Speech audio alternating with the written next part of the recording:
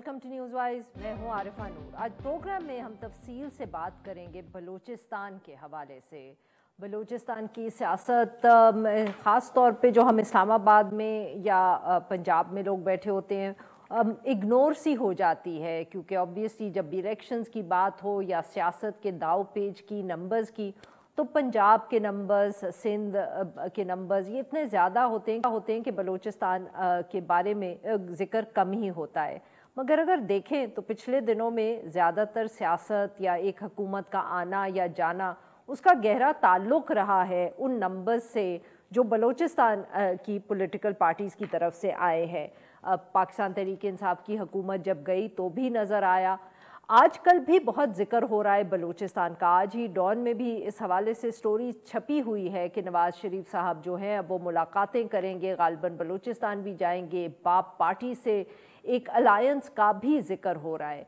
बाप पार्टी बलूचिस्तान की जो जमात एक है, हम कह सकते हैं कि पिछले दिनों में बलूचिस्तान की और वफाकी सियासत पे उसका बहुत गहरा असर है। जब पाकिस्तान मुस्लिम लीग नवाज़ जो थी it was not in the good book so to speak और उनके लिए मसाइल पैदा हो रहे थे 2018 के इलेक्शन से पहले, तब भी उनके ही कुछ रहनुमा बलूचिस्तान से जो थे वो एक दिन उन्होंने फैसला कर लिया कि नई जमात बनानी है और बाप पार्टी बन गई। वो बाप पार्टी बाद में फिर पाकिस्तान तहरीक इंसाफ की भी जो है वो इतिहादी बनी और फिर जैसे बाकी इतिहादी पाकिस्तान तहरीक इंसाफ को छोड़ के गए, वो भी जमात छोड़ के गई। पिछले दिनों में भी इस जमात को लेके बहुत सी ख़बरें आ रही थी। काकड़ साहब जो इस वक्त निगरान वज़ी अज़म हैं वो और कहा जा रहा था, उनके कुछ जो साथी हैं वो पाकिस्तान मुस्लिम लीग नवाज़ की लीडरशिप से मिले हैं, उधर जाएँगे। उससे पहले उनके कुछ और जो कॉलीग्स थे, वो अब पाकिस्तान पीपल्स पार्टी में उन्होंने शमूलियत भी इख्तियार कर ली, फिर कहा कि नहीं, अभी हम फैसला कर रहे हैं। और अब भी कुछ इस तरह की इतलात आ रही हैं कि वो जो जमात थी, जो पाकिस्तान मुस्लिम लीग नवाज़ का हिस्सा बनने जा रही थी, उसका अब जो, उसको रिवाइव करने का फ़ैसला भी कर लिया गया है। आज ये अखबार में एडवर्टिजमेंट्स भी सामने आए हैं, जिसमें उन्होंने लोगों को इनवाइट किया है कि अगर वो बाप पार्टी के टिकट पर इलेक्शन लड़ना चाहते हैं तो वो अपनी एप्लीकेशन जो है जमा करवा सकते हैं। पार्टी के एक नए सदर भी बन चुके हैं। कितनी अहमियत होगी इस जमात की जो भी वफाक में हुकूमत बनाना चाहेगा उसके लिए और बलूचिस्तान की सियासत में? और बलूचिस्तान की सियासत में जिन जमातों का हम पहले ज़िक्र करते थे नेशनल पार्टी थी, मेंगल साहब की जमात होती थी जे यू आई फे उनकी कोई आजकल बात नहीं कर रहा। क्या उनकी अहमियत बिल्कुल ख़त्म हो चुकी है? क्या बाप पार्टी ही अब डोमिनेट करेगी बलूचिस्तान को? इन सब इश्यूज़ पे बात करने के लिए आज हमने दी है शाहिद रिन साहब को सीनियर सहाफ़ी हैं एंकर पर्सन हैं। बहुत गहरी नज़र रखते हैं बलूचिस्तान की सियासत पर। एंड वेरी काइंडली हमें ज्वाइन किया है जाम कमाल खान साहब ने सीनियर रहनुमा बलूचिस्तान अवामी पार्टी से इनका ताल्लुक़ है। सबक वज़ी अला बलूचिस्तान भी रहे। Welcome to the show Jam Kamal साहब। Thank you for joining sir sir बताएँ कि ये अब आप बाप पार्टी में अभी भी अपने आप को उसका एक हिस्सा समझते हैं। नवाज़ शरीफ साहब से क्या अब आप भी मुलाकात करेंगे? ये भी इतलात आ रही हैं कि आपके कुछ जो यू नो रहनुमा है बाप पार्टी के वो पीएमएलएन को ऑफिशियली ज्वाइन करेंगे। सर कुछ तफसील शेयर करें अपने मुस्तकबिल के हवाले से with reference to the coming election जी बहुत बहुत शुक्रिया जी। आ, सबसे पहले तो मैडम यह है कि बलूचिस्तान अवामी पार्टी से बहुत गहरा ताल्लुक अभी तक आज के दिन तक कम अज़ कम तो है मेरा। आ, लेकिन अपनी ताल्लुकी को मैं इसीलिए आज के दिन तक भी साथ रखता हूँ क्योंकि इस पार्टी की जो बुनियाद है उसमें अगर चंद लोग थे जिन्होंने एक बहुत बड़ा हिस्सा डाला तो उनमें से मैं भी था, खालिद मकसी साहब भी थे, बाकी और भी दोस्त थे। मैं इसकी गहराई में इसलिए नहीं जाना चाहता हूँ, जिस तरह कुछ और लोगों ने इस पर तबसरे किए कि ये एक दिन की पार्टी बनी है। देखिए, पार्टियाँ हमेशा एक दिन में ही बनती हैं, उनका क्याम एक दिन में ही होता है। लेकिन असल चीज़ होती है कि उस पार्टी के अंदर जो लोग हैं, क्या वो भी एक दिन में बने हैं? क्या वो पहली दफ़ा ज़िंदगी में इलेक्शन लड़ रहे हैं? क्या उनके उन्होंने कभी सियासत में हिस्सा नहीं लिया? क्या उनकी कोई फॉलोइंग नहीं है? क्या उनको कोई वोट बैंक नहीं है? ये वो सवाल है जिसको सबसे ज़्यादा एड्रेस करना चाहिए।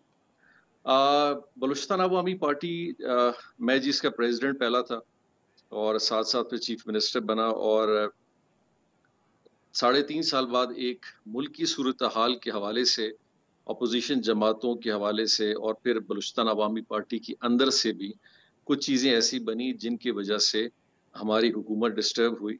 और यकीनी तौर पे जब हुकूमत डिस्टर्ब हुई तो एक एक साल का पीरियड ऐसा गुजरा जिसके दौरान फिर एक पार्टी का नया प्रेसिडेंट कुदूस बिजन साहब को भी मुंतखब किया गया। और हम तकरीबन कुछ साथी थे जो बहुत दूर दूर रहे, जिनमें से बहुत सारे साथियों ने पार्टी छोड़ भी दिया। तो यकीनी तौर पर पार्टी में छोड़ने का मकसद सबसे जो बड़ा है और ऐसी जमातों में जिस तरह बलुचिस्तान अवामी पार्टी है, क्योंकि फेडरेटिंग पार्टीज़ जो हैं, उनका एक ढांचा है, उनका एक स्ट्रक्चर है, और उस स्ट्रक्चर के अंदर रहते हुए एक डिसिप्लिन पे कायम रहा जा सकता है। यहाँ ढांचा भी उधर ही था स्ट्रक्चर भी वही था, फैसले भी वही थे। यकीनी तौर पे जो लोग साहिब इकतदार आए और पार्टी के अहम जिम्मेदारियों पे आए तो उन्होंने महसूस किया कि ये चंद लोग हैं जिनके साथ हमें नहीं चलना चाहिए और हम नहीं चलना चाहते। तो कुछ दोस्त पाकिस्तान पीपल्स पार्टी में चले गए कुछ दोस्त आज़ाद साइड पे बैठ गए। और हम भी ऐसे तकरीबन चार पाँच कोलीग थे जो तकरीबन पार्टी से पिछले दो साल से इसके किसी अफेयर्स में हमने हिस्सा भी नहीं डाला और ना ही हमें कोई बुलाता था या वो इम्पोर्टेंस दी जा रही थी। तो इन सारी सिचुएशंस को देखते हुए यकीनी तौर पे इलेक्शन है सियासी लोग हैं हम। आ, और मैं एक बात बड़ा क्लैरिटी से बताना चाहता हूँ कि बलूचिस्तान के अंदर सियासत को उस प्रिज्म में नहीं देखना चाहिए जो हम बाकी पाकिस्तान में देखते हैं। देखिए एक चीज़ को रियलाइज़ करना चाहिए कि बलूचिस्तान की सीटें भी बड़ी कम है चाहे नेशनल असेंबली की हो या प्रोविंशियल की हो। यहाँ तकरीबन आधे से ज़्यादा हल्के वो हैं जो इलेक्टेबल लोग हैं। आ, उस हल्के में दो तीन लोग ऐसे हैं जो कोई ना कोई इलेक्शन जीतता है अपनी इनफरादी खदमात और काम की वजह से। कभी एक दफ़ा आता है फिर कोई दूसरा आता है। फिर कुछ ऐसी पार्टीज़ हैं जिनका अपना एक वोट बैंक है, जिसमें जे यू आई है अवामी नेशनल पार्टी है नेशनल पार्टी है बी एन पी मेंगल है। ये वो जमातें हैं जिनका स्ट्रक्चर अपने ही एक नैरेटिव पे है। बाकी जो लोग हैं, ये हमेशा एक कॉन्स्टिट्यूंसी की पॉलिटिक्स करते हैं। नेशनल ग्रिड में इनका बड़ा कम हिस्सा होता है। कोई इनफरादी लोग बन भी जाते हैं।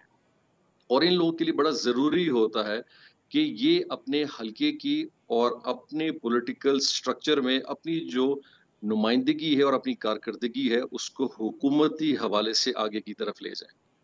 और जब भी बलूचिस्तान में ये नंबर गेम थोड़ा सा डिसबैलेंस होता है, सबसे ज़्यादा इसका फ़र्क जो है, उन लोगों पे आता है जो इनफरादी तौर पे अपने हल्की की सियासत में ज़्यादा है। बीएनपी पे नहीं आएगा नेशनल पार्टी पे जे पे नहीं आता, क्योंकि उनका ढांचा और उनका पोलिटिकल स्ट्रक्चर थोड़ा बड़ा है। अब यकीनी तौर पे भी ये लोग हैं जो फिर माजी की तरह कभी पाकिस्तान पीपल्स पार्टी के प्लेटफॉर्म पे कभी P M L N Q की प्लेटफॉर्म पे पी एम एल एन की प्लेटफॉर्म पे और हालिया में हमने देखा कि बी ए की प्लेटफॉर्म पे इन्होंने सियासत की। अब जैसे कि सब लोग कहते हैं आ, कि हमें भी इस पॉलिटिक्स में अपना हिस्सा डालना है और अपनी सर्वाइवल करनी है और अपनी सर्वाइवल हमने सिर्फ़ बलूचिस्तान के अंदर ही करनी है क्योंकि हमारा नेशनल गेम में भी इतना बड़ा हिस्सा नहीं बनता। तो उन चीज़ों को देखते हुए यकीनी तौर पे मैं भी कुछ फैसले करूँगा। और मैं भी यकीनी तौर पे ऐसे फैसले करूँगा जो कम से कम बलूचिस्तान के परस्पेक्टिव में एक एक्टिव पॉलिटिक्स में हम सबने हिस्सा लेना है आने वाले टाइम के अंदर। आ, दोस्तों के साथ मशावरत हुई है बहुत सारे दोस्त हैं जो मुझसे मुंसलिक हैं हम ग्रुप के सूरत में भी कुछ दोस्त हैं और हम भी यही कंटम्पलेशन में हैं क्योंकि अभी बलुस्तान अवामी पार्टी का इलेक्शन हुआ और उन्होंने एक पार्टी प्रेसिडेंट लिया सूबाई सदर हैं। तो बाकी जो लोग अब पार्टी का हिस्सा नहीं है वो यकीनी तौर पर अपने फैसला करेंगे अभी। जी। शायद आप कुछ पूछना चाहेंगे? सर आपने बात की एक थॉट की एक नज़रिए की जिस पे बीएपी बनी। आरफा ने चूँकि मौका दिया इसलिए मैं चाहूँगा आपसे ये सवाल करूँ। मेरी अपनी ओपिनियन में इससे कोई एग्री करे या डिसएग्री करे। बीएपी जिस थॉट या जिस ओपिनियन के तहत बनाई गई थी उस पर तीन या चार लोग ही इब्तदा से कारबंद थे या उससे जुड़े हुए लगते थे। बाकी जमात में जो लोग थे, उन्हें उस सोच या नज़रिए से कोई लेना देना नहीं था। उसकी हमें झलक नज़र आती है, चाहे वो साढ़े तीन साल आपका दौर हो, या डेढ़ साल कुदूस बेजेंजो का दौर हो तो जिस सोच और नज़रिए पे बनी थी, उस पर खड़ा ना होने की वजह से आपके ख्याल में पार्टी बिखरी। इकतदार के जो पॉलिटिक्स का जो सबसे बड़ा असर है, वो बलूचिस्तान पे है। शायद पंजाब या सिंध में ऐसा नहीं है कि अगर आप इकतदार में नहीं है तो आपकी पार्टी आपको सरवाइव नहीं कराती। बलूचिस्तान में हर इनफरादी शख्स ये महसूस करता है और जिन हल्का अहबाब की मैं और आप बात कर रहे हैं कि ये समझते हैं कि जी अगर हम किसी पार्टी और ख़ासकर इकतदार वाली पार्टी का हिस्सा अगर नहीं बनेंगे तो हम एक अपोजिशन के साथ साथ एक बिल्कुल बैकवर्डनेस में जाते हैं, जो बदकिस्मती बलूचिस्तान में बहुत बुरी तरह से पिछले कई सालों में हमने देखा है, होता आ रहा है।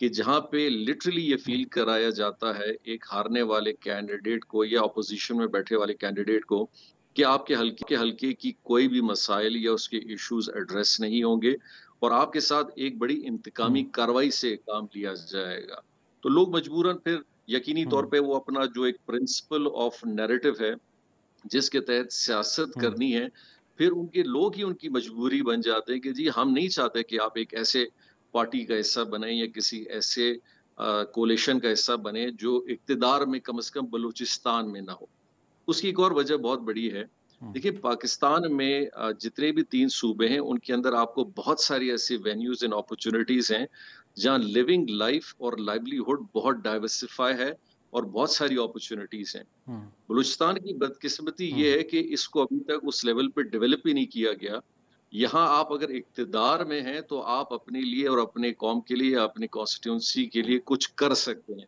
इसके बरक्स यू आर नथिंग आपकी एफिलिएशन कुछ नहीं है, आपकी प्रेजेंस कुछ नहीं है।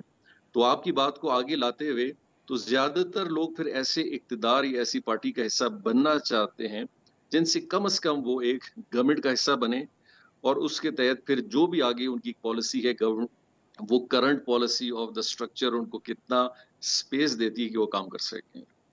बहुत बहुत शुक्रिया जाम साहब, आपने हमारे लिए वक्त निकाला।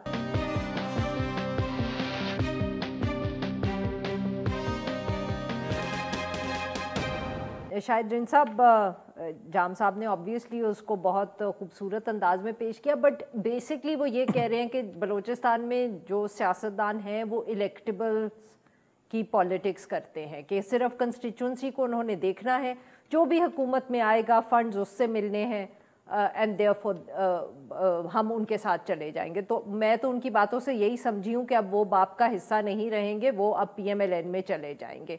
क्योंकि फंड्स और मजबूरियाँ और ये सब पीएमएलएन की हुकूमत बनने वाली है। आगे कहते हैं कि सिर्फ़ वो वफाक में नहीं बनेगी, पंजाब में नहीं बनेगी, वो बलूचिस्तान में भी बनेगी। अच्छा अरफा जहम कमाल ने जो बात की, मैं आपसे सिर्फ़ दो दो से तीन चीज़ें जो इंपॉर्टेंट हैं, जिनको बलूचिस्तान के पैराए में समझने की ज़रूरत है।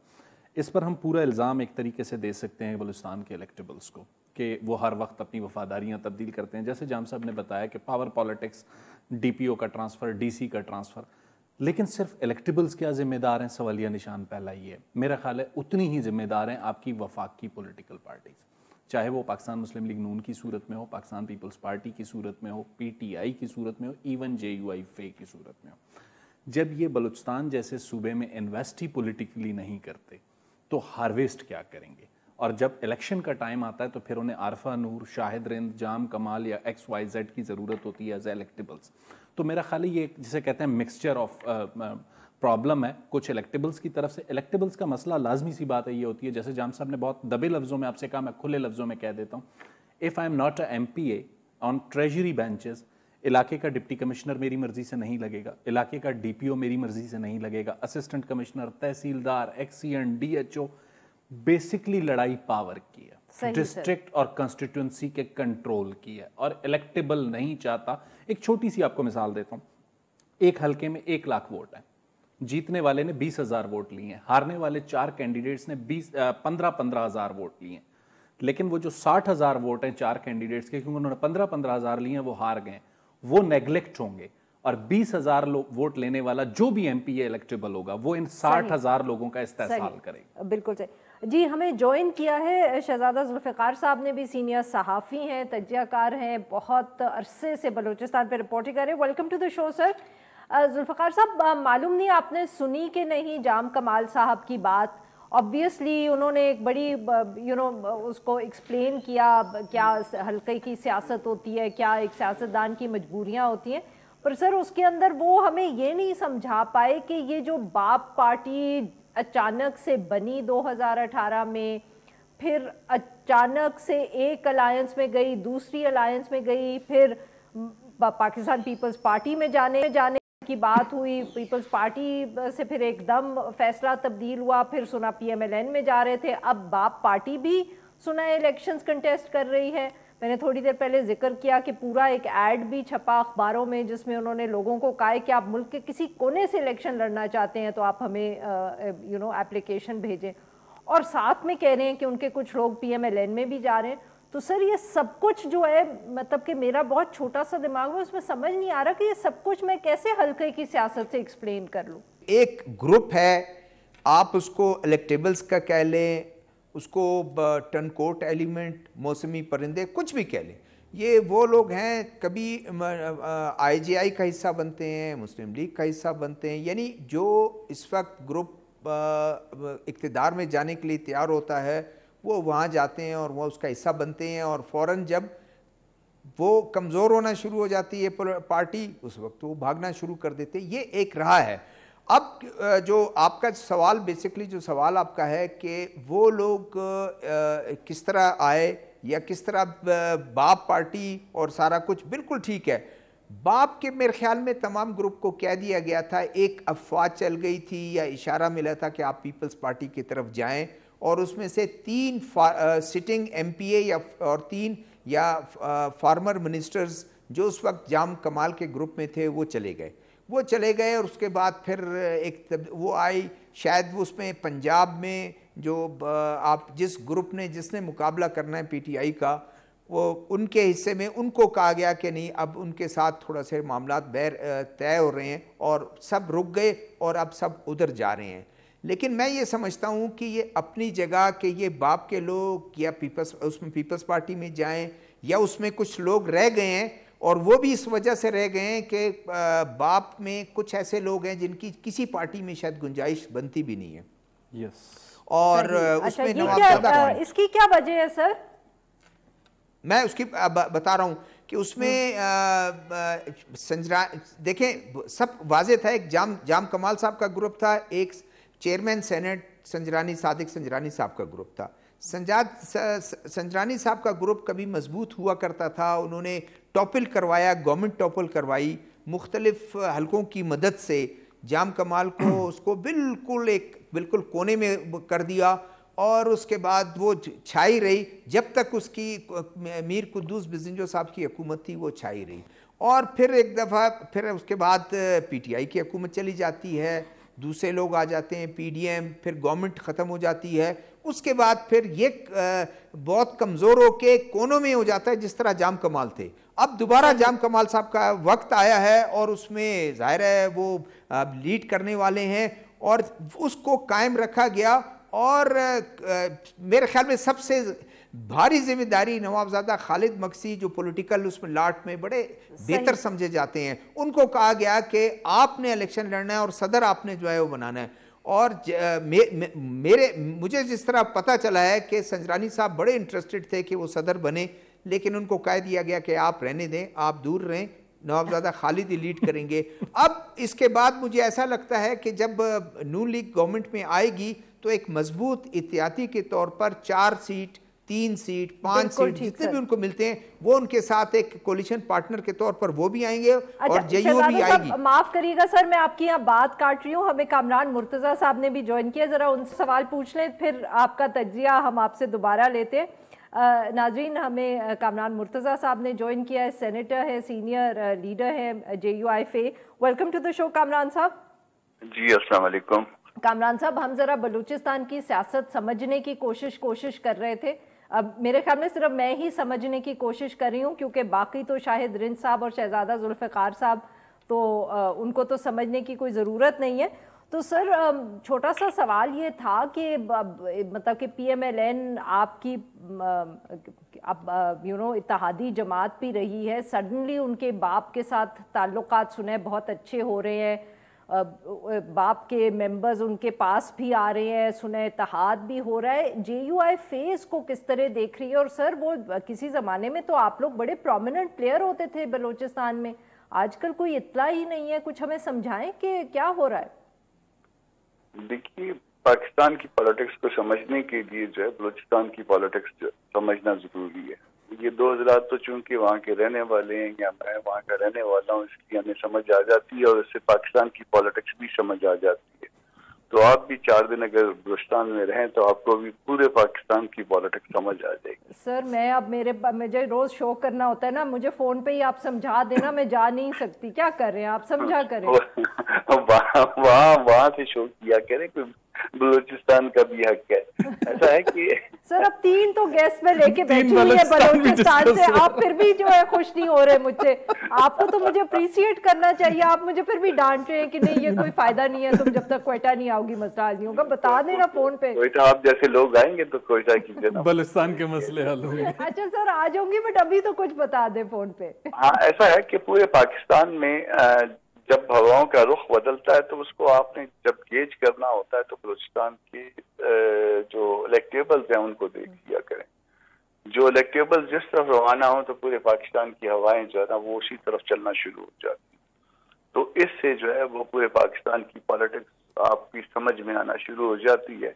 और अब भी आप समझ तो आ गई होगी बात अच्छा सर अगर वेरी क्विकली तो आप बेसिकली कह रहे हैं कि हवा चल रही है हवा नवाज़ शरीफ साहब की भी कान में सरगोशी कर गई है हवा बाप पार्टी के कान में भी सरगोशी कर गई है जे यू आई फे के कान में कोई सरगोशी हुई कि नहीं?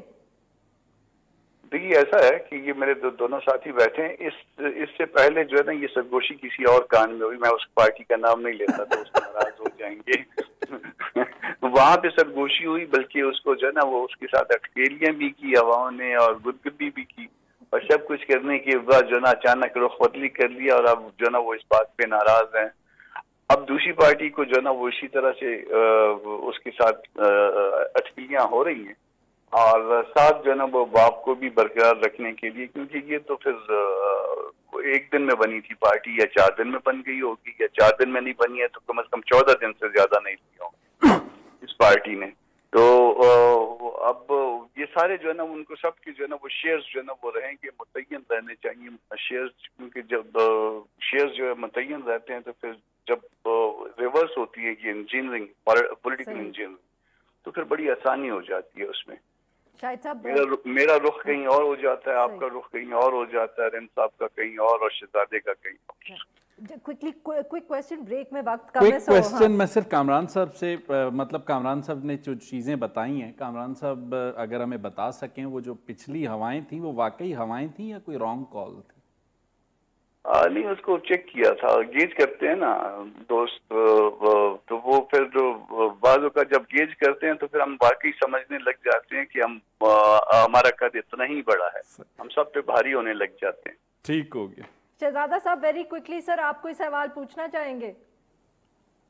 आ, मैं सिर्फ़ ये पूछना चाहूँगा कि इनके इनकी पार्टी जो है वो कहाँ होगी? सेंटर में और सूबे में तो बिल्कुल मैं गैस कर सकता हूँ कि वो हुकूमत का हिस्सा रहेगी। वहाँ क्या करेगी? अभी तक हम नहीं देख रहे हैं कि मौलाना फजल रहमान और मियाँ नवाज़ शरीफ की कोई ऐसी मुलाकात जिसमें कोई तय हो सके कि आगे चल के होना क्या है।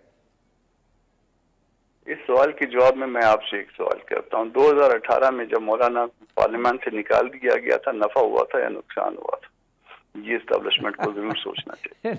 आप आप कुछ बता दें ना। आप मुझसे पूछ रहे हैं। सवाल का जवाब सवाल होता है। सवाल का अच्छा। कामरान साहब फ़िलहाल खबर देने के मूड में नहीं लग रहे हैं ने कहा कि मुझे छुट्टी के दिन तंग किया मैं इनको भी तंग करूँगा एक आरफा हकीकत है कि अगर ब्रेक लेनी है ब्रेक के बाद मैं बहुत बहुत शुक्रिया कामरान साहब आपने छुट्टी के दिन भी हमारे लिए वक्त निकाला। तो ना दी बट वक्त आपने निकाल दिया for that we appreciate you very kind of you sir नाजरीन यहाँ पे लेते एक छोटा सा ब्रेक और फिर जब हम वापस आएँगे तो जो बलूचिस्तान के एक्सपर्ट्स हैं वो मुझे समझाएँगे कि कामरान साहब क्या कह के गए हैं। Please stay with us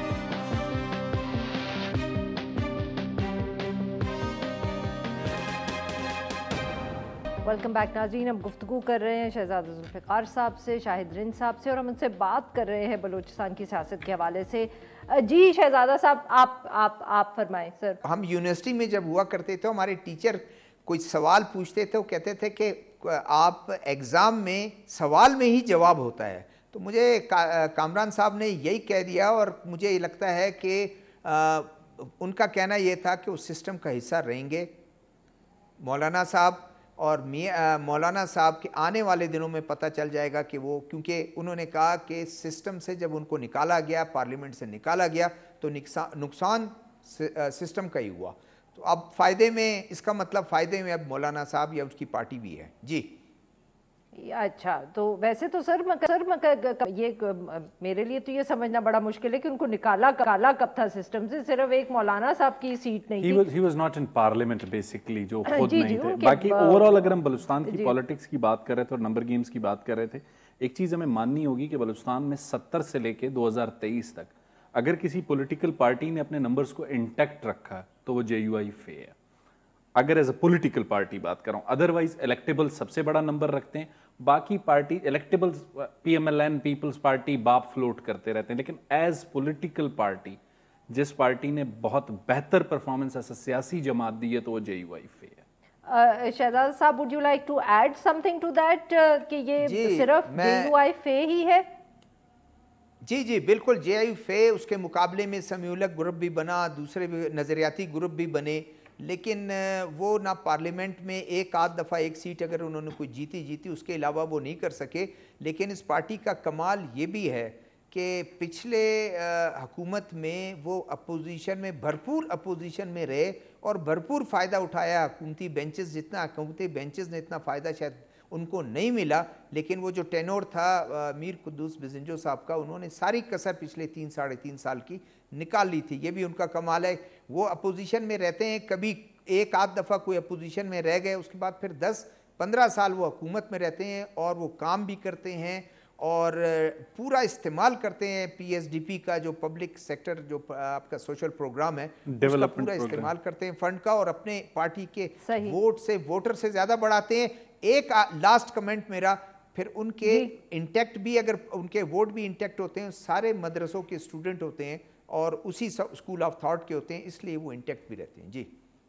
अच्छा ये ऑब्वियसली जे यू आई फे का हम ज़िक्र करें तो उनकी शायद ज़्यादा डिपेंडेंस जो है वो पख्तून वोट पे है बलूचिस्तान में। हम्म। पर सर जो नेशनलिस्ट पार्टीज़ नेशनल पार्टी वज़ीर आला भी रहे उनके शायद साहब आपसे ऑब्वियसली शुरू करते हैं। डॉक्टर अब्दुल बाले मालिक थे, फिर यू नो बिजिंजो साहब थे और बहुत एक पुराना ताल्लुक था उनका नवाज़ शरीफ साहब से, बल्कि हम हमेशा नवाज़ शरीफ साहब की सियासत को इस तरह देखते थे कि उनका फोकस पंजाब में रहता था, मगर उनकी कोशिश हमेशा ये होती थी to reach out to the smaller nationalist parties ताकि एक कंट्री वाइड कोलिशन बने।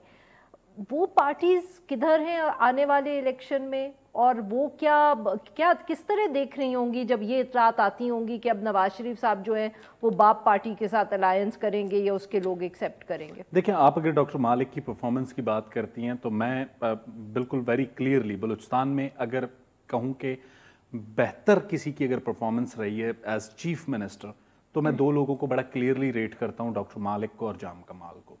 डॉक्टर मालिक से सिर्फ़ एक गलती हुई जो काम उन्होंने तुरबत में किया अगर वो बलूचिस्तान के सात डिवीजनल हेडक्वार्टर्स में करने में कामयाब हो जाते तो वो बलूचिस्तान का फेस और फेट दोनों चेंज कर सकते थे, जिसमें मुझे लगता है कि वो नाकाम हुए। नाकामी का बुनियादी रीज़न उनकी कुलेशन गवर्नमेंट थी। पी के मैप को भी उतने ही फंड्स मिले, किला अब्दुल्ला के लिए जितने तुरबत में डॉक्टर मालिक को मिले। नवाब सनाउल्ला जहरी को भी उतने ही फंड्स मिले खुशदार के लिए जितने तुरबत के लिए गए। लेकिन तुरबत का काम हमें नज़र आता है। किसी हद तक मेरी उस पर भी क्रिटिसिज्म है कि डॉक्टर मालिक उसे मजीद एक्सपेंड कर सकते थे जो उन्होंने नहीं किया। डॉक्टर मालिक एटीन अमेंडमेंट की अगर बलूचिस्तान की कोई पॉलिटिकल पार्टी दाई है तो वो नेशनल पार्टी है मीरा असल खान जो डॉक्टर मालिक एटीन अमेंडमेंट के बाद जो काम अब क्या सिर्फ़ सिर्फ़ एक, हाँ। एक मैं अपनी आर्ग्यूमेंट हाँ। को पूरा करूँ एटीन अमेंडमेंट के बाद जो सूबे को इख्तियार मिले थे उसके लिए जो लेजिस्लेशन करनी थी वो डॉक्टर मालिक नहीं कर सके लेकिन जाम कमाल ने उसको इनिशिएट किया इन दो लोगों का सिर्फ़ एक प्रॉब्लम था कि मेरा ख्याल है इनके इतिहादी या इनके साथ जो लोग थे बलूचिस्तान में प्रॉब्लम चीफ मिनिस्टर से सॉल्व नहीं होगा। quickly, I have to move Balochistan हाँ. से बलूचिस्तान का जो प्रॉब्लम है वो कैबिनेट पे डिपेंड करता ठीक है। शहजादा साहब very quickly sir your comment on the National Party फिर हमें गेस्ट भी ज्वाइन मैं, मैं मैं मैं मैं ये बता दूँ कि इस मुझे इस तरह नज़र आता है वो ठीक है डॉक्टर मालिक साहब एक बहुत अच्छे एडमिनिस्ट्रेटर होंगे लेकिन उनकी पार्टी भी उनके लिए मसले क्रिएट करते रहे क्योंकि उनकी अपनी पार्टी में भी लोग कहते रहे और फिर आ, सारे इख्तियार भी उनको दे दिए गए और उसका असर क्या हुआ आपने देखा फिर स्कैंडल्स की सूरत में आया। इसी तरह मुस्लिम लीग नून एक मज़बूत वो उनके साथ थे वो एक मुश्किल क्रिएट करती रही। पश्तनख्वा मिली अवामी पार्टी मुश्किल क्रिएट करती रही। लेकिन आज यही वजह है आप देखें कि जितने फंड इन्होंने इस्तेमाल किए दो 2018 में जो है दोनों पार्टियों को जो है कोई ऐसे सीटें नहीं मिली सिवाय एक सीट मिली पश्तनख्वा मिली अवामी पार्टी को वो भी सरयाब एरिया से उनको मिली। अब इस वक्त डिवाइड हैं अगर ये एहतियात कर जाते हैं कॉम्परस जमाते हैं अगर एहतियात कर जाते हैं सरदार अख्तर मैंगल और नेशनल पार्टी जो बिल्कुल ठीक दूर, दूर तक नज़र नहीं आता इसी पे तो अगर आप मुझे इजाज़त दें तो जानजेब जमाल दीनी साहब ने हमें ज्वाइन किया बीएनपी मैंगल से आपने ज़िक्र किया। बल्कि सर आप बात अगर शहजादा जुल्फ़ार साहब और शाहिद रिन साहब की सुन रहे थे तो सर मैंगल साहब ने साहब ने भी पिछले दिनों इंटरव्यू दिया बहुत लगा कि वो भी पीडीएम की हुकूमत से नाराज़ थे। सर कुछ बताएँ एक नाराज़गी की वजह। दूसरा ये कि अब आने वाले इलेक्शंस में आप लोगों का क्या आ, वो होगी स्ट्रैटेजी होगी? शुक्रिया जी। मुझे मुझे नहीं पता आपके पास कितना टाइम है। अगर मुझे थोड़ा सा टाइम देंगे। जी सर दो दो मिनट आप लें दो तीन मिनट आप जवाब दें। दो तीन मिनट में जवाब तो नहीं होगा बहरहाल अच्छा चार मिनट ले लें आप सर चार मिनट में आप ले लें। रसम पूरा कर लेता हूँ। हाँ। पहली बात तो यह है कि देखें ना अगर बलूचिस्तान में इस्टेब्लिशमेंट न्यूट्रल हो और यहाँ पे न्यायती आजादाना इलेक्शन हो और पॉलिटिकल पार्टी को मौके फराम किए जाए कि वो इलेक्शन कंटेस्ट करके वट्स एवर उसकी पोजीशन है उस पोजीशन के मुताबिक वो अपनी सीटें निकलवा सके। तो मेरे ख्याल में ये बेहतर होगा और इससे ग्रेजुअली जो है ना जमहूरियत भी मज़बूत होगी। लोगों का एतमाद जमहूरियत पे पार्लियामेंट पे और स्टेब्लिशमेंट पे कुछ ज़्यादा ही मज़बूत होगा। अगर यहाँ पे एक बार फिर कंट्रोल डेमोक्रेसी लाने की कोशिश की गई, जैसे कि अक्सर बातचीतें हमें दिखने को मिल रही हैं कि बाप पार्टी को एक बार फिर ज़िंदा किया जा रहा है और बाद सियासी जमातें ऐसी हैं, उनमें जो है ना खसूसन बंदों को भेजा जा रहा है और आपके जो है ना फेडरल पार्टीज़ है, उनमें खासकर जो है ना, लोग उस तरफ़ का रुख कर रहे हैं, जहाँ पे जो है ना, ये चीज़ें दिख रही हैं कि भाई सियासी तौर पे जो है ना, ये, इनकी जो है ना हैसियत बनी हुई है, इन इन पे जो है ना, आज यानी दस्त शफकत रखा गया है, लोग उस तरफ़ का रुख कर रहे हैं। जहाँ तक बलूचिस्तान नेशनल पार्टी का ताल्लुक है, हम तो शुरू से कहते चले आ रहे हैं कि भाई आप जो ना न्याय की ट्रांसपेरेंट इलेक्शन करवा दें। इसमें मुदाखिल कोई ना हो, कोई भी पार्टी जीते, नेशनल पार्टी जीते, ये दीगर सियासी जमातें जीते या बाप जीते, हमें कोई इतराज नहीं। लेकिन अगर इसी तरह एक बार फिर जो है कंट्रोल डेमोक्रेसी होगी, पहले से जो है लोग मुतजल लोगों का एतमाद जो है ना फेडरल पॉलिटिक्स पे रहा नहीं है, जो ज़यीफ हो चुका है तो मजीद भी ये ज़यीफ होगा, इससे कोई जो है ना खातर खा नतज बरामद नहीं होंगे। अब अगर बलोचिस्तान में जो है ना आपने जो है ना इसे एक फेडरेटिंग यूनिट समझना है तो यहाँ पे न्यूट्रली इलेक्शन हाँ। होनी चाहिए। जी माफ़ करिएगा जमालदीनी साहब अगर आप इजाज़त देख लेनी है ब्रेक के बाद हम आप जहाँ रुके हैं वहीं से शुरू करिएगा। Please sir I am so sorry but आपको पता है कुछ चीज़ें यहाँ बियॉन्ड मी जी नाजिन यहाँ पे लेते हैं हम एक छोटा सा break will be right back और जमालदीनी साहब अपना जवाब जारी रखेंगे। Stay with us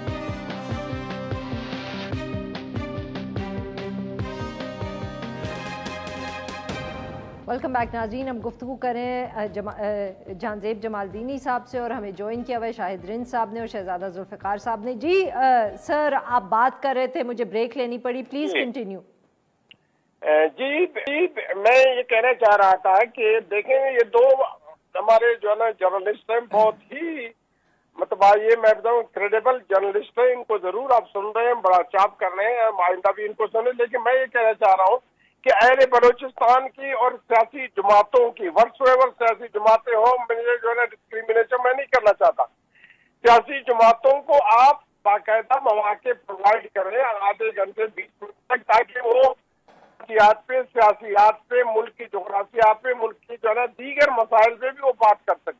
अगर आप जब भी जो है ना मैं देखता हूँ कि बलोचिस्तान में कोई मिसाइब होता है, या बलोचिस्तान में जो है ना सियासत की जो है कुछ चीज़ें निकालनी होती है, उन पे जो है ना बहस करनी होती है तो अरे बलोचिस्तान को जो ना आप जहमत देते हैं। ठीक है, वो भी सही है, किसी हद तक। फेडरेशन की तो माशाल्लाह ये फेडरेशन इस तरह की है फेडरेशन यूनिट्स को अहमियत ही नहीं देता। तो मैं ये कहूँगा, यहाँ पे बात शादी की ज़रूरत है, यहाँ पे सियासत को जो ना न्यूट्रल होना चाहिए, यहाँ पे कंट्रोल डेमोक्रेसी नहीं होनी चाहिए। यहाँ पे अहले बलोचिस्तान जो भी मकतब फ़िक्र के लोग उनको मौके मिलने चाहिए। जैसे कि आपने निहायती बेहतरीन मेरे जो है दोस्तों को आज मौके फ्राम किए उन्होंने बेहतर अंदाज सर माफ़ करिएगा बट ये तो बताए ना सर आप अब अगले मतलब के मेंगल साहब आप लोग क्या फैसला किए क्या आपने इतिहाद करना है किसी जमात में अगले इलेक्शन के लिए? बिल्कुल इतिहाद करेंगे। हम जो है ना कोशिश हमारी होगी कि पाकिस्तान के जितने भी सियासी जमातें हैं मुनासिब सियासी जमातें मुनासिब सियासी जमातों का मेरा मतलब पता क्या है? आप सुन रहे हैं मेरी बात? जी सर। मुनासिब सियासी जमातों का मेरा जो मतलब पीडीएम की जमातें हैं उनसे एहतियात जो है ना मुमकिन है नेशनल पार्टी से भी मुमकिन है जमतुलमा इस्लाम से भी मुमकिन है। लेकिन जो है ना जो अवामी पार्टी या दीगर जो कंट्रोल लोग हैं जिन्हें एक ही हफ़्ते में जो है ना सियासी जमात बनाया जाता है और दूसरे हफ़्ते में उसे हुक्मरानी दी जाती है उनसे शायद हमारे अपना इतिहास बिल्कुल ठीक। बहुत बहुत शुक्रिया सर आपने हमारे लिए वक्त निकाला। जी शाहिद साहब क्विक कमेंट क्विक कमेंट मेरे ख्याल में बलूचिस्तान में कोई चीज़ नहीं, नहीं बद... ये अब इन्होंने जो कहा कि सबसे इत्तेहाद हो सकता है मेरा मेरा मेरा नहीं ख्याल है डॉक्टर साहब मेरा ख्याल है बाप के वो कह रहे हैं कि बाप के इत्तेहादी रह चुके हैं। नहीं नहीं आई नो बट मुझे उनकी बात से सर ये समझ मतलब, आया है कि वो कह रहे हैं सबसे इत्तेहाद हो सकता है। बजिंजो को वज़ीर आला बीएनपी मेंगल ने बनाया। कैसे आप कह सकते हैं कि बाप से इनका इत्याद नहीं रहा? नहीं वो कह रहे आने वाले दिनों में सर। उन्होंने ये कहा है कि सबसे इत्याद हो सकता है उस जमात से नहीं हो सकता जो ओवरनाइट बनी हो तो उससे तो मुझे यही समझ पिछली बार भी वो ओवरनाइट बनी हुई जमात थी फिर किस उसूल के तहत उसके वज़ीर अला की हिमायत की? सर वो मुस्तकबिल के लिए उनकी स्ट्रैटेजी फ़र्क है। शहजादा जुल्फिकार साहब सर मुझे शहजादा साहब सीनियर है। हम दोनों को बेहतर समझा सके मेरा नहीं ख्याल है। मैं गलत समझी हूँ सर या ये कहा है उन्होंने?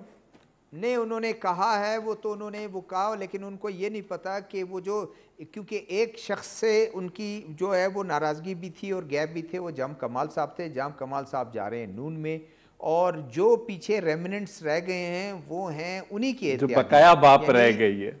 यानी यानी आप चेयरमैन सेनेट संजरा सादिक संजरानी साहब से बहुत अच्छे वर्किंग रिलेशनशिप उनकी है उनके कुदूस हम्म। बिजिंजो के साथ बहुत अच्छी वर्किंग रिलेशनशिप है। खालिद मक्सी के साथ वो वो सारा वो अभी मेरे ख्याल में आगे चलकर उनका इतिहाद होगा। मुझे नहीं लगता कि उनका इतिहाद नून के साथ उस सीटों पर कहाँ वो एक दूसरे को एडजस्ट कर सकते हैं। इतिहाद अगर होगा भी तो उनका नेशनल पार्टी के साथ जेयूआई के साथ होगा। और जेयूआई के साथ ऑलरेडी नेशनल पार्टी जो है वो उनके साथ सेशन कर रही है और कि, ताकि एक दूसरे को फ़ायदा दे सकें। तो ये उन्होंने मुझसे, वो कह दिया, जल्दी में उन्होंने कह दिया कि उनसे नहीं हो सकता है तो कंट्रोल तो फिर, नून भी तो कंट्रोल हुई। बिल्कुल। अच्छा शहजादा साहब, सर, ये बताइएगा वेरी क्विकली जो मुझे अब आप दोनों से और अपने मेहमानों से, बाकी मेहमानों से बात करके समझ आए कि आने वाले इलेक्शन में बलूचिस्तान से जो भी रिजल्ट्स होंगे, उनके अंदर main players BAP party Pakistan Muslim League Nawaz J U I fame Mengal group but जो बाकी नेशनलिस्ट पार्टी जैसे पी के मैप है या नेशनल पार्टी है उनको आप नहीं देख रहे। Very quickly thirty second each Shahzada साहब आप शुरू करें।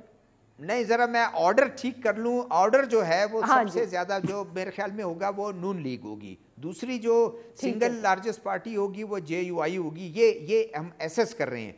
उसके yes. बाद बाप है पीपल्स पार्टी एक दो सीटें हैं उसके बाद नेशनल्स पार्टी की जो आपने बात की नेशनल्स पार्टी मैं एक्सपेक्ट कर रहा हूँ बीएनपी मैंगल के लिए और नेशनल पार्टी के लिए दो चार दो चार इसी में वो वो कर सकेंगे। अगर वो इतिहाद करते हैं तो इससे बढ़ सकते हैं और जे के साथ इतिहाद जो करेगा उनकी एक आध सीट बढ़ जाएगी। लेकिन ऐसा नहीं होगा कि बिल्कुल ये उस पोजीशन में आ जाएँ जो डॉक्टर मालिक साहब 2013 में आए थे या बीएनपी मैंगल 2018 में आई थी। जी। बिल्कुल ठीक वेरी क्विक शहजाद साहब ने जो इक्वेशन आपके सामने रखी है वो उसी हाँ। तरह मेरे हिसाब से आने वाली हुकूमत जो भी हो उसका चैलेंज होगा लापता अफराद बलुचिस्तान की बैड गवर्नेंस करप्शन इस चीज़ को जो भी ओवरकम कर सकता है वो बलुचिस्तान के लिए एक आइडियल सिचुएशन होगी। अगर इन तीन चीज़ों को कोई एड्रेस नहीं कर सकता तो बलुचिस्तान का फेस और फेट चेंज नहीं बहुत बहुत शुक्रिया हमारे मेहमानों का उन्होंने वक्त निकाला। नाजीन आज के लिए बस इतना ही। Will be back on Monday now